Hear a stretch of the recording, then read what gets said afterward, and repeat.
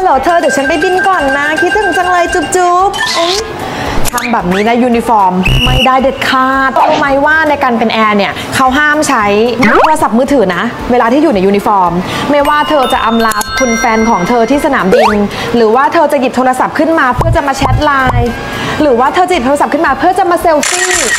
หรือไม่ได้ใช้โทรศัพท์ในการที่ให้คนอื่นเห็นก็จริงนะคะ แต่เธอเนี่ยใส่ AirPod เพื่อที่จะเมาส์มอยแบบนี้ก็ไม่ได้เด็ดขาดระหว่างที่เธอกำลังเดินสนามบินหรือว่าอยู่ในยูนิฟอร์ม เพราะว่าภาพลักษณ์ของยูนิฟอร์มเนี่ยนะคะ ก็คือ ready to serve ตลอดเวลาคือต้องพร้อมในการเสิร์ฟค่ะประเด็นเลยก็คือว่ามันมีดราม่าเกิดขึ้นค่ะ กับสายการบินหนึ่งนะที่ผู้โดยสารเนี่ยโวยวายว่าทำไมแอร์ใช้มือถือได้ และโดยเฉพาะอย่างยิ่งเนี่ยเป็นการใช้มือถือบนเครื่องบิน ซึ่งแอร์บอกให้ผู้โดยสารทุกคนกรุณาปิดโทรศัพท์มือถือ เพราะว่าแอร์เนี่ยได้ทำการประกาศว่า please switch off your mobile phone ทางเรากำลังจะนำเครื่องขึ้นนะคะ กรุณาปิดโทรศัพท์มือถือทุกท่านนะคะ แต่แล้วก็มีผู้โดยสารเห็นแอร์คนหนึ่งกำลังเล่นโทรศัพท์ตามคลิปนี้เลยค่ะ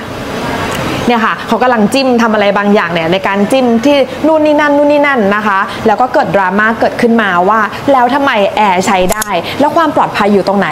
นะคะ วันนี้จะมาอธิบายประเด็นนี้ให้ฟังจะเย็นๆนะ อย่าเข้าใจผิดคือมือถือเครื่องนั้นเนี่ยที่แอร์ใช้ของสายการบินสีแดงนะเขาเป็นมือถือที่ไม่สามารถที่จะโทรเข้าโทรออกได้เลยนะคะ ไม่สามารถจะแชทกับใครได้เลยก็คือไม่มีสัญญาณใด ๆ เลยอะแต่ว่ามือถือเครื่องนี้จะเป็นมือถือในการที่แบบ เวลาใครสั่งของซื้อของอะไรเนี่ยเขาก็จะกดเข้าไปใน inventory ของเขาเท่านั้นเองนะคะ หลายคนก็เลยมองว่าทำไมแอร์มันเล่นทั้งไฟล์เลยวะ เวลาเสิร์ฟอยู่ก็ยังกดเล่นอยู่ เขาไม่ได้เล่นเขาทำงานจ้า แต่แล้วทำไมมีแอร์หลายคนเล่นติ๊กต็อกบนเครื่องบินวะ ถ่ายคลิปวะ อีหยังวะ